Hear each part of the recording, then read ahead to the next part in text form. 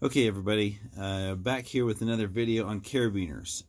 So I had uh, some of my viewers from my last video. Thanks for all the support uh, on my last video that you gave, by the way. So had some people ask a question about uh, what do you do if the spring here. I showed how to reinsert the spring. Not well, I guess not reinsert the thing. I showed everybody how to push this if this had slipped off the gate on the inside there I showed people how to reattach it up into this little ledge right here. But some people were asking how, uh, one lady in particular was asking, what do you do if this spring has fallen completely out? And so I, I did an explanation. It was hard to explain it all in the comment section. So I I thought I'd do another video on this to demonstrate how to do it. One of the common reasons how this might happen is the gate here can slip out past slip out past like that. And when that does, it can sometimes make it slip out. But the, these can, things can sometimes fall out anyway. So I wanted to show you how to get this done here. So the first thing I'd say to do, just to make it a little bit easier, would be to actually just slide it, pivot a little bit past there. It should be able to do it without bending these, uh, bending the bars there on either side too much. So take a pair of pliers, and you'll notice on this piece that there is a fat side that I'm grabbing right here now. I can grab that. A fat side and a skinny side. You'll also notice when you pull it out, as I drop it, you'll also notice that there is there is a bend to it. And so two things you want to note is, first of all, the uh, small piece, the small end, goes up inside. Goes up inside the gate. So this is going to get shoved back up inside there. Now, there is, if you look here, see if I can get something to point with here. Here's a pen. If you notice here on this, it gets a little wider right in this area right here before it gets skinny. So it's fatter here, and then it gets really fatter in here, then skinny in here. This fat part is supposed to help it stay in there better. Um, sometimes since it gets used a lot, it might get a little worn out and not holding it in there as well. But you, you just shove that up inside that hole there you got to kind of work it up in there. You, you got to get past that fatter part there that's supposed to help it stay in there. If you open this gate too much, you'll push it past the, the end piece right here. You don't want to do that. So you kind of just get it started to get it worked up in there. It, it would be too hard to show you the inside up in there, what it looks like.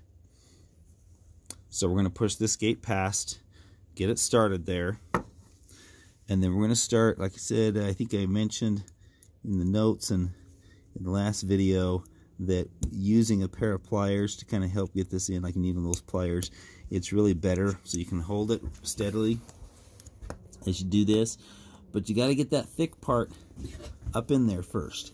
So we're going to kind of work that. Make sure the gate's on this side. You can kind of twist it just a little bit so it has a little bit more space to go in. You can see how far I've got it in right there now, the heavier part is already up in there.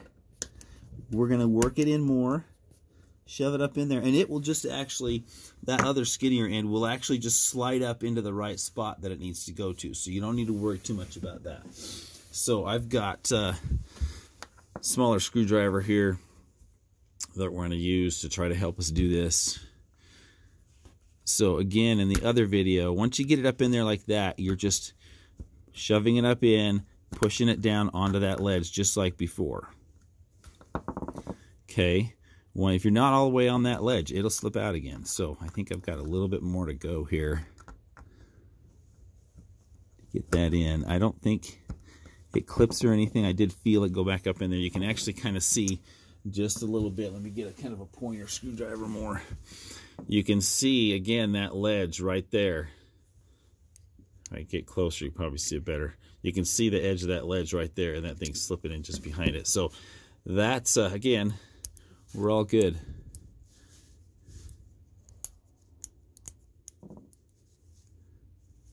It might be sitting in there a little crooked, but that's how you fix the spring on that carabiner. There you go, it settled in better. If it's not exactly on that angle, that's one of the weak things about these smaller these smaller carabiners is uh, they don't always align with this and so that's why if they get jammed sideways that's what can make it trip out. Um, if you're really worried about it, you can see this is flared just a little bit right here. You can see those are not, that'll focus, you can see those are not exactly parallel.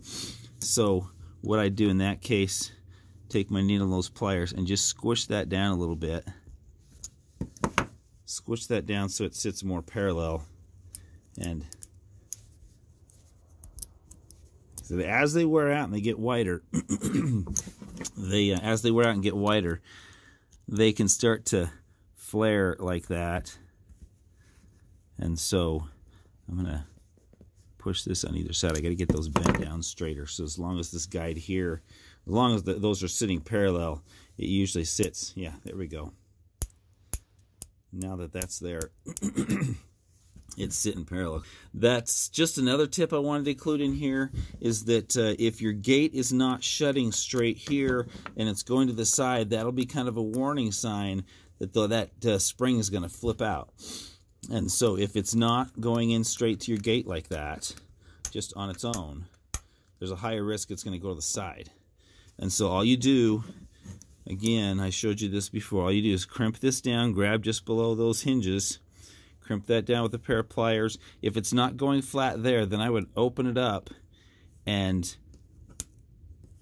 if you push this in this way as you're clamping, it'll go ahead and bend that part straighter and so that's what I did there to make it to fix it there so the gate's closing straight as I push this way and then I also push this way and it kind of put a little bit it put a little bit of a bend back in this in that area there and this area here on the on the orange part. Put a little bit of bend so that you can see how that's sitting straighter. And then you're all much more likely to go in straight. So that's how to fix it if the spring comes all the way out. So uh, appreciate your comments I love your comments in the last video not all my videos but any feedback you had I appreciate it and um, encourage you to uh, like it, subscribe as well. Appreciate support in the comments that you've made. I'm, I'm glad that these are helpful and hopefully this uh, fixing this gate thing or actually replacing the spring completely inside when it's come out. Hopefully that'll help you. And uh, see you again in the next video.